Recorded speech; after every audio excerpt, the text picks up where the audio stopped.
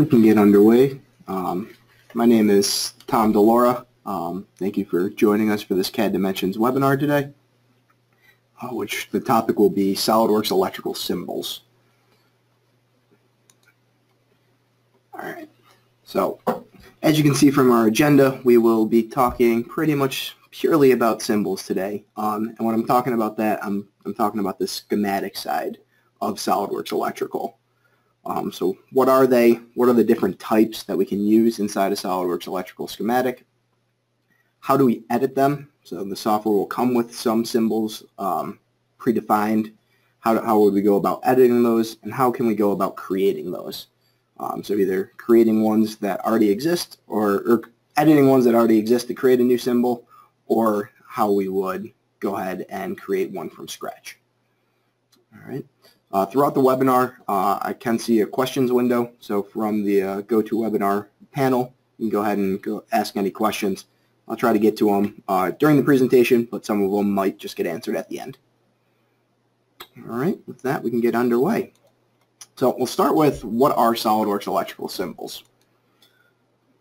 So our symbols that we use inside the software are really graphical. So they're pretty much lines on a page um, except we're inserting intelligence to them uh, through our SQL database. So through our manufacturer parts, we're associating attributes that then get linked up to our graphical symbol.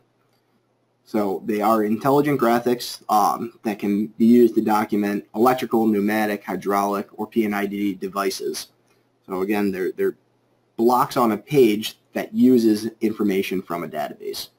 Uh, and the block type that we use inside of SOLIDWORKS Electrical is a DW, DWG file format. Um, and again, where that, all that intelligence comes from, as we can see here, where our manufacturer and our part number and our mark number come from are actually these attributes that get linked into our SQL database that is running it in the back, back end of this. All right, so I want to talk about four different types of symbols uh, just to start us off. And the first one is a single line diagram symbol. So our single line diagram is our cable connection diagram inside of SOLIDWORKS Electrical. Um, so this is going to show us some point-to-point -point connections between cables, and it's going to use a more pictorial reference to show us what our what our components are. So for the example, I have uh, a screenshot here. It's a motor. Its uh, mark number is M1 for motor 1, and I have some details about this manufacturer part that are built into the symbol. Um, for our single line diagram symbols, we can definitely use images, and we can add attributes like we can to our multi-line schematic. So I do want to jump into a SOLIDWORKS electrical project here. So from my interface, I have I'm going to be using a mixed scheme for most of these these examples because it shows us both our single line diagram up top here as well as our multi-line schematic down below. All right, so if I'm looking at my single line diagram up top, I can start to see that these symbols are actually used uh, to connect cables to one another. So I can see that I have a sensor that's connected to a terminal block using a cable. So what this symbol is made out of, if I just right click and say symbol open, I can see that it's comprised of uh, attributes that, again, link to that SQL database. So if I click on my tag attribute, I can see over in my properties window that this is, represents my symbol mark. Um, my reference designator 2 is going to represent my manufacturer part. And my COMTEX 0 will represent user data. So a field that I can fill in from, from the interface to populate this symbol. All right. One thing that you don't notice on this symbol specifically is a box around it.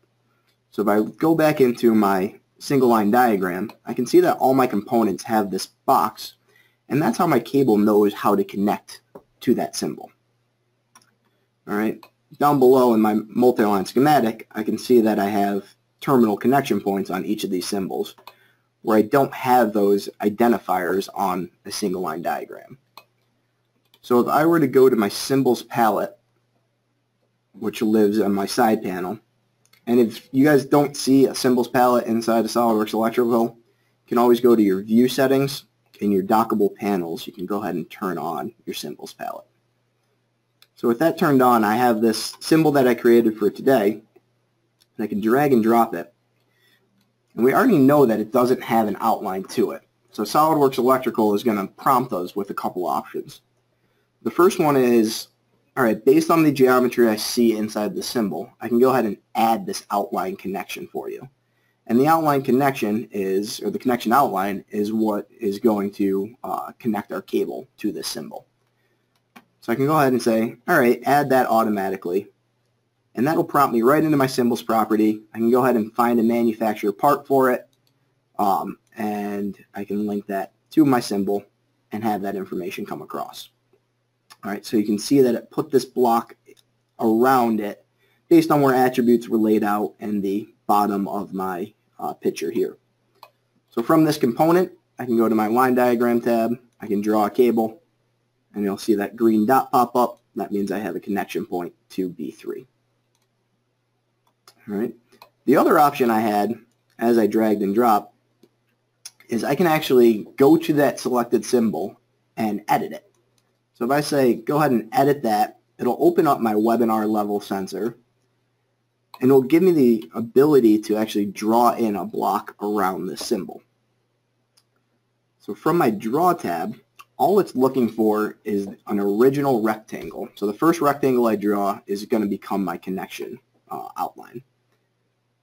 So I'll grab it from my origin, drag it down some distance, and just do that. I do have to save a symbol so it can update the database. But now if I go back into my mixed power scheme, go back to my symbols palette, I'll notice that my preview has a box in it, and as I drag and drop, it's no longer going to offer me or ask me, hey, you don't have a box around this, what would you like to do? It's just going to put me right into my symbols properties. I didn't tell you that I had one user data field on that symbol property. So even if I don't choose my manufacturer part, I can still give this some information as a placeholder to say um, spare sensor as my user data. And what that'll do is go ahead and populate my user data on my sensor B4. All right, so the big takeaway there is when we're using a line diagram, we want to make sure that we're, especially in a mixed scheme, we want to make sure we're choosing our line diagram symbols palette. And we want to just make sure that the symbol that we're creating or using has a, uh, a square or rectangle around it that we can actually go ahead and connect to using some cables. All right. Our next type of symbol is a multi-line schematic symbol. And I'd imagine this is what we'd use a majority of the time as we're detailing our electrical projects. So our uh, electrical schematic symbol, or multi-line schematic symbol, is going to have a bit more information than our single line diagram. So at this level, we're looking for circuit and terminal connection and the information that's going to link that to our manufactured part. Uh, the basic idea of creating a graphic is the same. We're, we're using lines, shapes, text.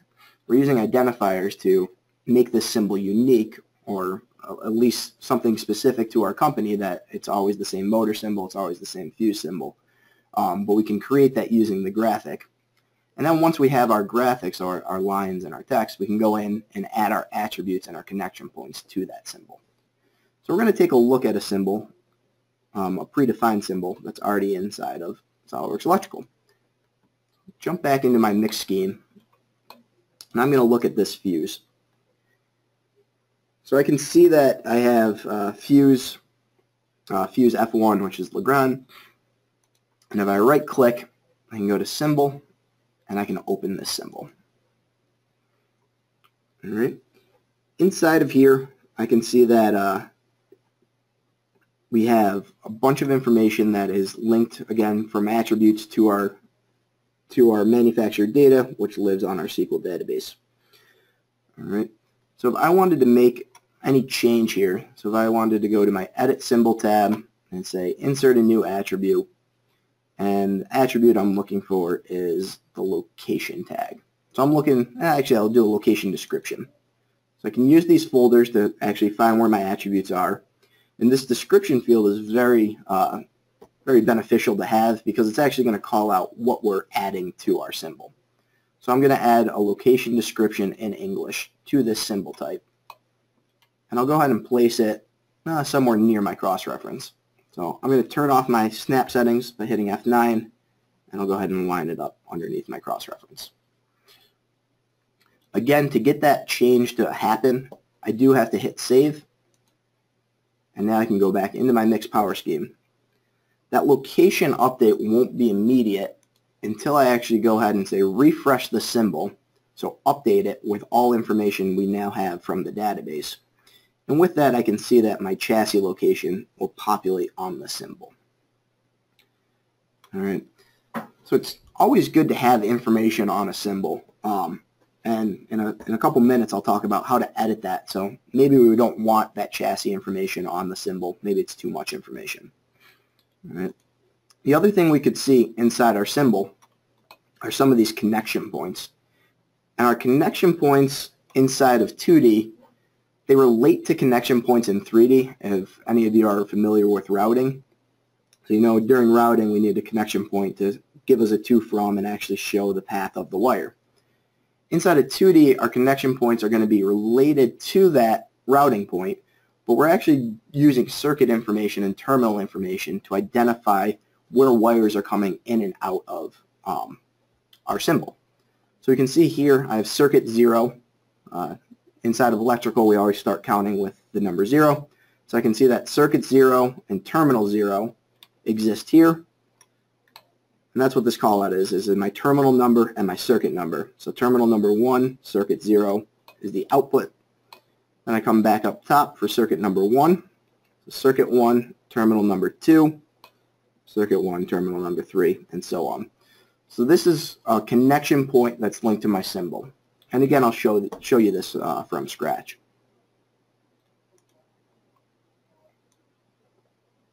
Um, one other thing to note about these symbols, go back, is if I go into my mix scheme, we'll notice that those connection points do have smarts built into it. So if I pull this fuse off of my wires, you'll notice my wires are going to reconnect. So those connection points know enough that as the wire comes in, it's going to trim the wire for the symbol and then resume the wire after the symbol. So those connection points and having our circuit information line up with our terminal information is important because it's going to help help clean up our drawing without having to do any real work. It's all going to be automatic. All right. The next type of symbol is a black box. So it's a real basic symbol type um, and I almost use it as a placeholder symbol. So an example I use is if we have a component that's coming from a supplier or it's coming from a customer, that they're not giving us all the information. All they're telling us is that I need three-phase power to go out to a system or I need um, I need a connector to link up here, but I'm not going to tell you what it's going to connect to. So it's kind of that unknown placeholder. Uh, we can use a black box. And the black box symbol is very quick to create because all it needs is some wires to go through it. So from my schematic tab, the black box is only available as a schematic tool. So from my schematic tab, I can insert a black box. And what this does is it cuts our wires where the black box intersects. So I'm just going to create a box of this size. It'll pick my next available number. Um, I can certainly change my route if I need to. So I can create a manual mark or change this. I can also change the class. So uh, it'll come in as a black box by default, but if I know that this is going to go out to a connector or to a set of contacts, I just don't have all the details yet, I can assign it to that class, and I can change what I want to call out my route number to be. So call this guy out as T2 go ahead and hit OK. And what our black box does is it notices the wire types that are intersecting it, and it'll actually create circuit and terminal information based on that. So if I were to double click T2 and look at my manufactured parts and circuits, I can see that based on the wires I intersected, I now have five new circuits with two terminals apiece. All right, so it's going to give me a black box terminal type. It's all just for a placeholder of the unknown, but it is going to help me document better um, my schematic because now I can associate these to cable cores. They're not just loose wire ends. They actually have a place. And I can give this black box a location. So I know that this might be out at my pump location. So this is going to be an external cable going outside of my assembly. And again, where that black box symbol lives is schematic, insert black box, and all you have to do is draw wires across it. Uh, the black box can also be updated. So if I wanted to draw a couple more wires going through this black box, it'll show them as in uh, going over it. If I go ahead and right click and say update black box, it'll find where it crosses my connection points and go ahead and create new terminal information, circuit and terminal information uh, incrementally. All right, so this is a it is a symbol that you can grow into. All right, the final types of symbols I want to talk about are dynamic symbols. So SolidWorks introduced these a couple years ago where we can actually have a smarter symbol. It's, it's nothing, it's not static like the other ones I was showing you. Um, so these, there's two types of dynamic symbols. We have them for PLCs, which we can see here where we're calling out the I.O. and the mnemonic that's going to describe what that I.O. is doing. Um, and we also have connector dynamic symbols. So we can place certain pins um, onto a connector symbol. We can wire it up quickly. Um, and we can also start to split a larger connector across pages. Um, so we can identify specific wires going in and out of that connector. All right. Again, this information is going to be pulled from a manufacturer part. Uh, so it's going to look up that database, fill out attributes on a dynamic symbol. Um, something you guys may not know is that these symbols are actually customizable. So I'm going to show you just the steps to get into that customization to make the symbol a little bit more unique or more specific to what your company needs. Ah, too far. All right. So from uh, SolidWorks Electrical, I have a, a PLC inputs open. So this was a dynamic symbol that was placed in here. And again, we can see our, our mark number, our manufacturer, and our manufacturer part number, um, as well as some I.O. callouts and some mnemonics that are, are turned on for the I.O. The other thing notice about a dynamic symbol is that it will have a cross-reference.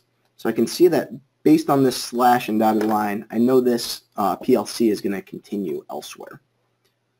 So where we get this description of a PLC is from our project settings. And if we drop down configurations, so it's not in our project configurations, it's going to be in our, um, excuse, our PLC drawing configuration. So turn that on, and I get a couple options from my PLC drawing configuration manager. I have application configurations, so these are going to be PLC drawings across all projects and all users. So they're at the highest level, which is our application level. The other type is a project configuration. So that would be specific to just my webinar project. Um, so a word of advice is as you're editing a, um, a PLC configuration or a, a connector configuration, you do want to use something that exists. So use the default one, but add it over to a project so I can add this to a project. And from here, I can edit it. I can make changes. I can kind of do trial by error, make sure everything's going to work as I want it. And then I can um, save that back up to the application. So once I'm happy with it, I can add it back to the application so other users and other projects can use it. Um, but from here, so I've added this to my project. I'm going to look at the properties of it. And inside of properties is where we start to get our information. So I'll have a name for it which I will call my webinar PLC. And I can have a description. So 16 channels per page based on some, um, some settings. And I'll just call this out as webinar. All right. So my next tab will show me the size of the PLC that I'm going to insert. So this one's going to look very familiar to the one I went over because it was used, it used our application settings. So I can see that there's some numbers that are called out inside this window up top. I'll just try to make that a little bit bigger. These numbers are not the dimensions. All they are are callouts to the dimensions inside our size settings. So my symbol height right now is going to be 35 millimeters. Uh, if I need to increment that at all, I can go ahead and type 50, and we'll get a live update up top. All right. Um, as I'm clicking on these numbers, the actual dimension will turn from blue to red. So it'll kind of give you a call out of what you're what you're changing. I want to increment that, let's say, make those a little bit taller, and have a larger offset, we can say. All right. Our, uh, our channel width separators, uh, they're not going to move where the connection points are. Um, so our connection point will always stay centered in this, but we can kind of adjust our offset. So if we know we have a set standard of the distance we draw wires, um, we can go ahead and change that with our channel width. So that's just how we get the graphic to appear as a dynamic connector. Uh, the next part is the information that we want to display on our connector. So I was talking about how we had our manufacturer and our mark number. All that information is coming from the left side of our, um, as I zoom in here, the left side of our PLC. And what this callout is, so yes, they're attributes, but what they're actually being linked to is a symbol that was created for this specific card. So I can go ahead and search for a new symbol if I want to change this, so I can find different information of a PLC callout. And all it is, it's not graphical, all it is is um, attributes on a blank symbol. So we could also edit this if we needed to add any more information. So tucked behind this window. I'm just going to use my second monitor real quick. Um, tucked behind this, I can see that I have this tag, so my mark number, my ref des. If I need to make any changes to this, I can go in, insert a new attribute. So maybe I'll get that location setting again. And go ahead and add that to my PLC callout. All right. Um, that information won't be updated until I do a data update, but then it will populate in there. All right, the next call out is for um, some layout settings. So where do we want to place this onto a page um, if we are inserting it dynamically from our PLC manager. Our connection points, as I zoom in again, are just showing us where we want our terminal information to be called out um, if we're laying out our PLC on the top of the page, bottom of the page, uh, for ANSI users, it'd be the left of the page or the right of the page. Um, so all this is is for placement of the tag information and any other information we want to bring in using attributes for these uh, connection points. Finally, we can have some circuit information coming in um, for these connection points. So if my symbol's on the on the bottom, maybe I want to bring in a specific symbol. I'm sorry, that's for the top. If my symbol's on the bottom, maybe I want to bring in a specific symbol that is linked to that connection. Um, or we can bring in a macro so we can make this even smarter and say anytime I'm using this this uh, manufacturer part, I want to put a LED at the end of it. I want to put a set of contacts at the end of it. We can link a symbol um, symbol macro to that connection point. All right, so I'll go ahead and apply that, and we'll close out of our settings. We'll close out of here. So now if I wanted to, I'll just go ahead and create a, a new scheme real quick. If I went into my schematic tab and said insert PLC, it'll give me the option, do I want to create a new one or an existing? I'll go ahead and create a new one. Hit my search. Um, this one, yeah, we'll grab something a little bit larger and select it. It'll prompt me with my normal information of a component property, but what will change for a dynamic selector or dynamic symbol is I can now turn on and off which channels of this PLC I want to display. Let me just expand this a little bit. So I can um, turn on and off I.O., which will actually shrink up my symbol. So right now I'm about three quarters of the page. As I turn off more I.O., I'm down to a half a page. So this symbol is going to grow and adjust based on what I have turned on or off. Now I want to make sure that I'm using my setup, so my 16-channel webinar configuration. So it should be a little bit thicker than um, our default one. You can see that it grew a little bit there. Um, and my offset between channels are a bit larger, so I'm back up to a full page. I want to go ahead and flip the symbol around so it's at the top. I can do that, and I'll go ahead and place them. Dynamic symbols will continue selecting, so if I want to flip this guy around, I can place him down at the bottom. Now that all my channels are placed, I can see I have my manufacturer part information with that location update that I changed. I have all my terminal callouts based on my connection points, any macro information I may have, um, or any I.O. information that I might have for that symbol. I also get my cross-reference to my page number and the column that it's on. All right. Our connector tool works very similarly to this tool. Uh, a lot of the options are going to be the same. So I will show you uh, using this blank page. All I'm going to do is draw four wires across my page. All right. So I have four wires on my page. I want to connect it. So I'm trying to make a cable and I want to show the cable cores of this. So I can certainly go into my symbols and look for a connector, let's say. And it will show me any connector types that I have. However, these are static symbols that are pretty much one-offs. They're not they're not going to adjust or they're they're really if I needed to edit them, I'd have to go into edit symbol. So using the insert connector tool, I can go ahead and create a new connector and I'm looking for something that has four terminals on it. So I can use my filter and this one should have three power female uh, connectors. So what my dynamic tool will do is again it will adjust as I turn on and off um, any circuit information. So I have a two pin connector or I can have a four pin connector.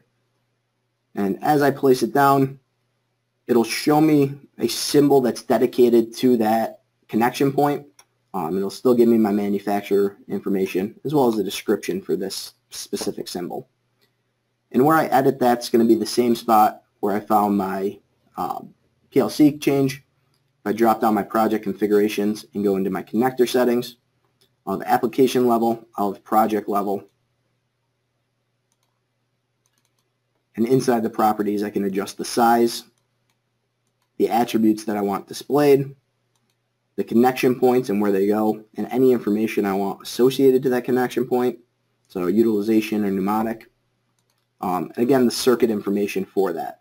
So I had four power female uh, pins.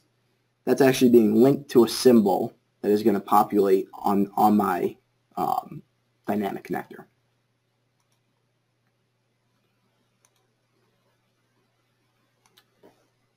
All right. So how do we edit some of these static symbols? Uh, I showed you how to open them up, but what if I want to make changes to them um, or maybe renumber some terminals? Um, even hide an attribute. So for that fuse, I added a location setting. Maybe I don't want to show that location setting.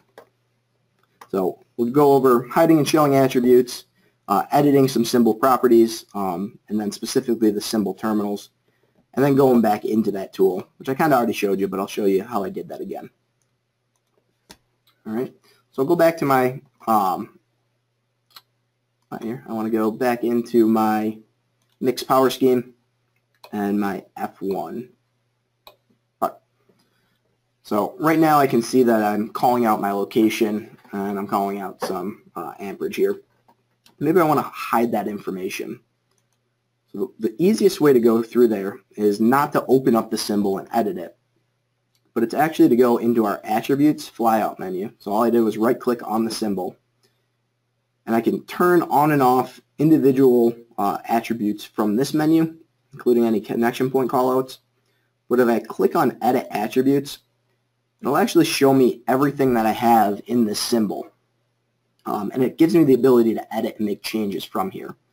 So it'll show me the value that's being displayed. And for like my location, if I don't want to show that, I can go ahead and just make it invisible and hide it. And maybe for my manufacturer part, I want to call that out a little bit more. I can change the color and say, all right, my manufacturer name will be called out as red. Um, any other adjustments here, we can um, move our X and Y position. So if we want to put something to the right of our symbol, we can update our X position. Maybe this 20 volt or 20 amp as my user data. I'm going to move over to say 160. Um, and I want to turn it by 90 degrees. All right, so I'll make the changes inside our edit symbol attributes. And what that'll do is it'll hide our chassis callout, it'll change our manufacturer color, and it will move this 20 amps over to the right and turn it at a degrees of 90. All right, so that's a quick change that does not affect the symbol. So if I go in and say open up the symbol, everything's going to be laid out identical. All we're doing is changing the graphic that gets displayed by using our edit, um, our edit attributes callout. All right, another setting by using the right click menu is edit our symbol terminals. And what this callout does is allows us to change what we're seeing displayed on our connection points without changing the manufacturer data. So I'll show you the uh, I'll show you the quick way here is just to come into the mark number and say maybe I want these to be more specific to input and outputs. Um, maybe I just want some other text in there and I'll leave this as 5 and 6. So I can hit OK and that'll instantly change what I'm seeing on my screen. All right, this does not change my manufacturer part. So again, it'll show me my circuit information, but if I go in and edit my Legrand part here, I can see that my terminal marks are still called out as 1, 2, 3, 4, 5. So the next time I use this symbol with this manufacturer part, so if I were just to do a copy and a paste, it's going to steal that manufacturer information again, which is 1, 2, 3, 4, 5, 6. Um, it'll keep my layout how it is until I actually go ahead and say update this symbol. It'll put it back with all my color and my placement.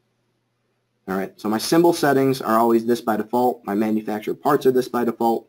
But if I need to edit it for a specific uh, specific component on my schematic, I can do that on the fly. All right.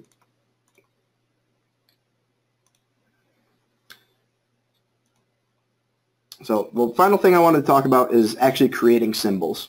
So we've started with SOLIDWORKS Electrical. I have my default symbols. I want to make something custom to my company.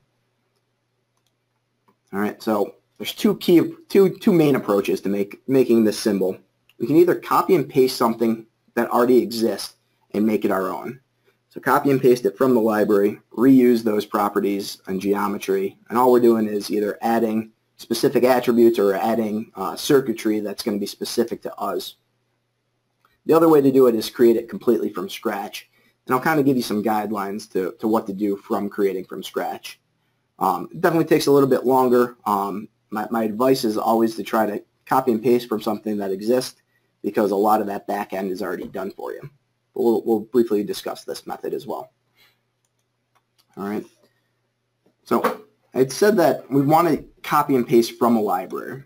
So the quickest way is to do it right from our schematic. If I have a symbol that I want that I know is similar to something I'm going to create, I can right click, go to my symbol properties, and I can add this symbol to the library.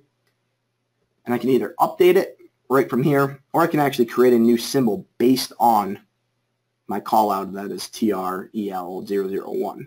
So I can create a new symbol, and what this will do is populate the information that already exists for this symbol. So any of my attributes, the fact that I'm drawing in metric, that it's a fuse disconnector. But what I can do now is change this to say this is now my webinar fuse. Description is going to be we'll call it a four-pole fuse. So I'm using a three-pole fuse to create a four-pole fuse is what my end goal is here. So I'll go ahead and hit OK. And what that'll do, it'll put me into my webinar fuse. So it'll automatically make it into edit mode or my edit symbol mode.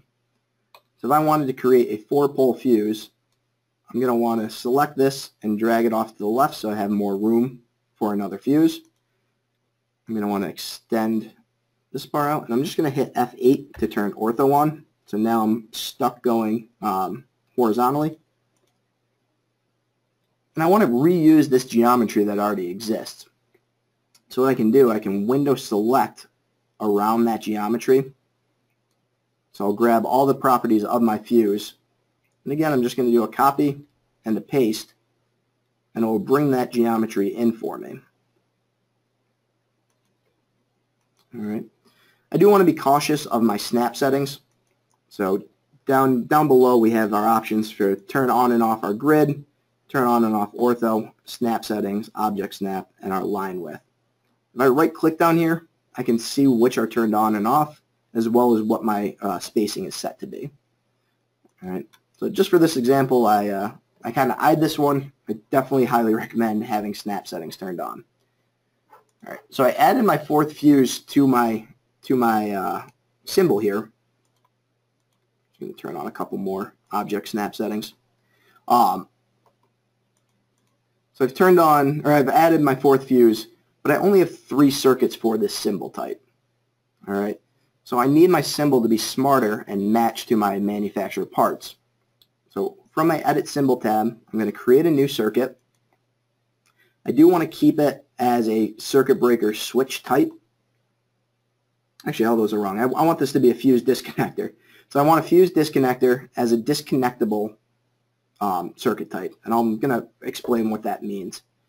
And my circuit number here is just the number I'm bringing in. So how many new circuits do I want? And I just want one here. It'll create circuit number three. What I'm going to do is go ahead and change these guys from circuit breaker switch to be fuse disconnector types. All right, and I'm doing that from my circuit properties. And all of these are disconnectable. All right, so I can see each of these circuits has two terminals that are involved in, or two connection points. So what I want to do is add connection points to my third or my fourth circuit here. So I will right click and say new connection point. That gives me the option is it is it incoming or outgoing. Um, as a safe measure, I usually use this incoming and outgoing. I'm going to turn off my snap settings, and I'm going to hit my spacebar. My spacebar will rotate this connection point 90 degrees. All right. And with my object snap turned on, I can go ahead and grab the endpoint of my fuse and place down my circuit 3 connection 6. All right, and that'll add a new connection point here. And I'll go ahead and right click, say new connection point, incoming, outgoing, hit my spacebar a couple times to get down to the bottom, and that'll add my connection point number 8. Right, just go ahead and drag that up a little, and I'll go ahead and save this symbol. All right, so now as I go back into my mixed power scheme, if I want to use this symbol, go ahead and clear that out. So I'm looking for my, my four pole now. I can go to my symbols palette, make sure I'm on my uh, IEC symbols palette, so my multi-line connector, or my multi-line schematic, and I'm just going to go ahead and type webinar in. I'll see that I have my webinar fuse, a four-pole fuse. I can drag and drop. Oops. Make sure my snaps are off here. Go ahead and drag and drop. Make sure I'm on the line. Create the next available number and we'll bring that information in. My circuit information will not come in. I can see that I, I was a little bit off. I should have used my snap settings. Uh, my circuit information or my manufacturer part information won't come in until I actually assign this to a manufacturer part. So go ahead and search. I'm looking for something that has four circuits. Grab this one, make sure my circuits match. Go ahead and hit OK. And that'll populate all the information on my symbol. All right. Another way to create that symbol is to go to our library tab and our symbols manager. And from here, I can actually filter out which type of symbol I'm trying to create, what classification it's in. So maybe I'm looking for that fuse disconnector again. And from here, I can create a new, new uh, either a copy or a new one by right-clicking and saying copy, and then right-clicking in the white space to paste it. And then I can go ahead and make changes to that new part because now it's separated from that original. Or I can come into new and create a part completely from scratch.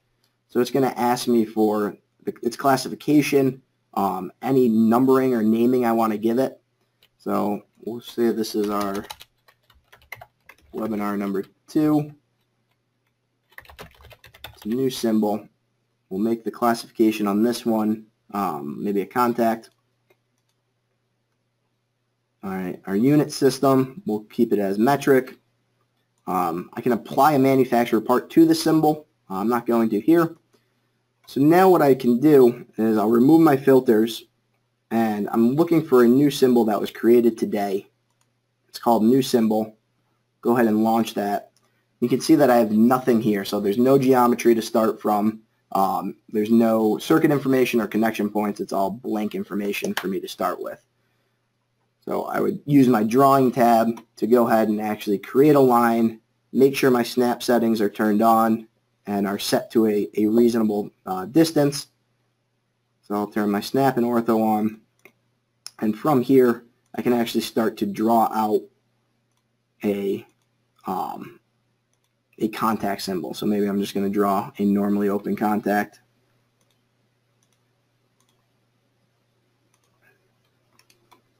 Something like that.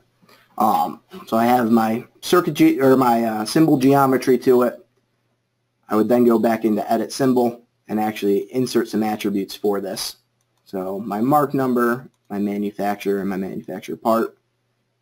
Put that information on here. Hit save. And now this is a symbol that I can actually use inside of my inside of my schematic.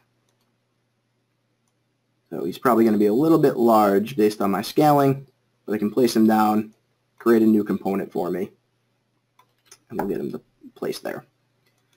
Um, so I did just want to talk about some of those connector types. Oops, not from this, from my fuse. Um, so if I look at any of my circuit information, I have information transmission. So there's four options. There's a disconnectable, passing, hyperpassing, or hyper-hyperpassing. So where these apply is what are what is our numbering scheme for the wire coming in and out, and how do these symbols actually connect? So for my disconnectable wire type up top, I can see that I have wire number 19 going into a terminal, and on the other side I have wire number 20. So this is going to be pretty common for most of our electrical symbols that we would have a disconnectable uh, interface between the wires coming in and the wires coming out. Uh, the exception here is a passing terminal that would have the same equipotential going in as it's going out. So for this type of transmission, we would have the same wire number, uh, number 21 on this example, going into our circuit, and then on the way out, we still have wire number 21. The next example is a hyper-passing uh, circuit, circuit transmission. So this means our equipotential is passing through the symbols. So our symbols are multiple locations. So I have X8 here as well as here. So our symbols across I'm sorry, our component is across two symbols, but the connection is treated just as if it was plugged in. Um, so maybe we could use this for connectors to say, this is the male side, this is the female side. It's going to be the same wire, the same equipotential going between these pins, but I'm not going to show them as one unified symbol. I want these to be um, across, across the schematic. And our final type is a hyper-hyper passing. And this type of transmission is used for origin destination arrows. So it's not going to link a symbol in here. So I wouldn't get like an X9 call out for this type of symbol. I'm not going to get a mark number.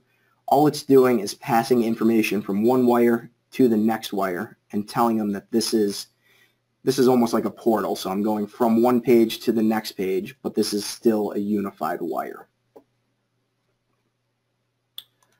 All right, so that's kind of my uh, my lowdown on symbols. Uh, anyone has any questions, feel free to fill out the uh, the question box, and I will respond to you. Um, for those that are done with lunch, I, I appreciate you guys tuning in today. Um, and any information that you need about SolidWorks Electrical, feel free to reach out. Um, I do just want to note that for the uh, the month of June, so right now there is a promotion um, for $1,000 off a purchase of SolidWorks Electrical, either the 2D or the 3D. So if that's something that interests you, please feel free to reach out to me or uh, the sales guy in your area, and we'll get you as much information on SolidWorks Electrical as possible. All right, thanks for tuning in, everybody. Don't forget to check us out on YouTube, Twitter, Facebook, and our blog for more great content by clicking on the links in the description below.